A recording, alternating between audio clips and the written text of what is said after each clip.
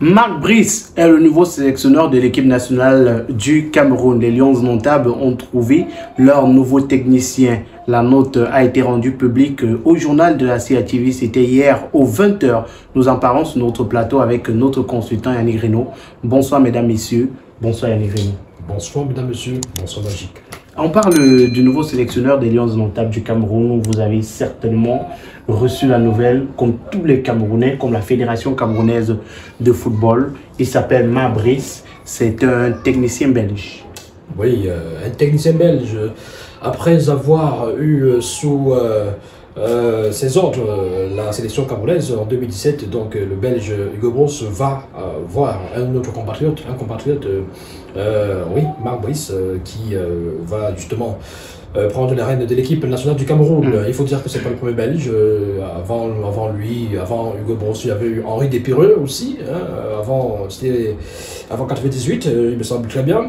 Donc voilà, finalement, après un mois d'attente et de spéculation et de commentaires et d'enquête, parce qu'il fallait fouiner ça et là, pour essayer de savoir ce qui se tramait dans les différents états-majors, parce qu'il faut rappeler que à ce, il y a quelques, quelques, quelques jours, quelques semaines, euh, pendant tout ce temps, on essayait de, de, savoir un tout petit peu hein, euh, ce que les différents camps, et même les différents clans, mm. les différentes commissions, c'est peut-être mieux de le dire ainsi, préparaient euh, en guise de, de shortlist. On, avait, on était baladé hein, d'un côté par une soi-disant shortlist de, du avec notamment euh, avec euh, notamment euh, euh, enfin, il y avait Sao, il y avait pas mal d'autres noms qui étaient cités. celui qui a signé, signé aux Philippines. Oui, mais il y, a eu une shortlist qui a circulé. Voilà, je vais retrouver. Et de l'autre côté de la Foot, on parlait beaucoup plus de Raymond Domenech. Domenech, Antoine Camboiré et Klinsmann. Ben voilà. Et vous vous rappelez que j'estimais même que pour moi, la shortlist de, de la Foot, si, Effectivement, si effectivement ça se concrétisait, c'était une très très très bonne pioche. Ça aurait été des très bonnes pioches. Mm. Quand vous avez Jürgen Klinsmann, vous avez euh, Comboiré ou alors Domenech. Bon, écoutez, ça, ça, aurait été pour moi quelque chose de. On va qu'on parlait également ces derniers temps d'Hervé Renard, qui a d'ailleurs euh, un peu euh, amplifié la rumeur lorsqu'il a annoncé qu'il ne prolongera pas avec l'équipe féminine de la France après les Jeux Olympiques. Oui, la, la possibilité, l'hypothèse Hervé Renard était compliquée, hein, était compliqué à valider parce que euh, il, fallait, il aurait peut-être fallu attendre la, fin, de son contrat. Mm. Les, les, Jeux Olympiques se déroulent en juillet, juillet de juillet à août c'est pas du tout évident. Il est sous contrat avec l'équipe de France féminine. Donc, s'il doit s'engager avec une autre sélection, avec une autre nation, il faudra attendre qu'il euh, termine donc avec euh, cette, son contrat avec cette équipe-là. Bon, voilà, le clan du MINSEP annonçait notamment Concessao, euh, Hugo Bros, par, exemple. et on se disait que Hugo Bros, s'il revient, pourquoi pas? C'est également une bonne pioche, c'est quelqu'un qui connaît la maison. Concessao, c'est quelqu'un qui connaît également la maison et qui avait quand même un bon bilan et jeu à tête des Lions et qui était parti. Ils avaient amené quand même, euh, ils avaient mené en demi-finale de la Coupe d'Afrique des Nations 2021, euh, disputée en 2022. Bon, parlons de bah, Fish, Marfish. Euh, Brice, pardon. Brice, euh, Marc Brice. Brice. c'est vrai que son nom n'est pas très connu dans le monde. Alors, par pure honnêteté intellectuelle, on se doit de dire que ce nom, c'est un véritable inconnu ce, ce, technicien, c'est un illustre inconnu. Peut-être que vous allez euh, parcourir son CV avec notamment les différents clubs où il entraîné, mais ce pas des grands clubs, c'est des clubs moyens, c'est des clubs pour la plupart deuxième division et des clubs du Qatar, euh, je veux dire. De l'Arabie Saoudite. De l'Arabie Saoudite, voilà. Donc, euh, c'est quelqu'un qui n'est pas très connu, c'est pas quelqu'un qui a eu une carrière de footballeur très très très réputé, c'est pas quelqu'un qui a euh, qui s'est distingué auprès de, des amateurs de football comme étant euh, un technicien chevronné ou alors euh, un véritable génie du coaching mm. ou alors une star même des, parmi les coachs parce que quand on si on vous cite quelques noms de coachs belges même, vous ne pouvez pas retrouver ce, ce, nom. Non, c'est un milice inconnu, c'est pratiquement un ovni un objet volant non identifié qui débarque, qui arrive comme ça, à la tête des lions à la table du Cameroun. C'est vrai qu'à première vue, euh, on peut se dire que peut-être le Cameroun aurait mérité mieux. Les Lions auraient peut-être mérité mieux, auraient mérité euh, un entraîneur d'un certain calibre, parce qu'aujourd'hui, quand on est Lion à la table du Cameroun, cinq Coupes d'Afrique des et pas mal de participations à Coupe du Monde, qu'on a un standing, euh, qu'on fait partie du top 2, top 3 des meilleures nations en Afrique, derrière l'Égypte, euh, par exemple, qui est euh, cette trophée de Le Nations, Coupe d'Afrique des Nations. comme on en a 5. Euh, comme on a une étoile des Jeux Olympiques euh, à Sydney 2000. Donc, on s'attend peut-être à mieux que ça. À mieux que ça. Mais euh, j'ai aussi envie de dire quelque chose.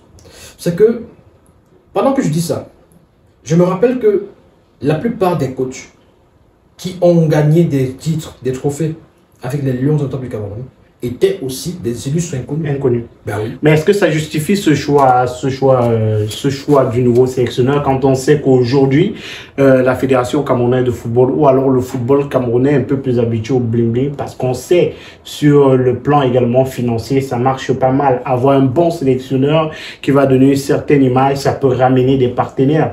On sait que ces dernières années, le football camerounais a connu euh, du bling-bling, que ce soit sur le banc de touche, que ce soit ailleurs, euh, il y a quand même un certain standing auquel les Camerounais s'attendent désormais. Oui.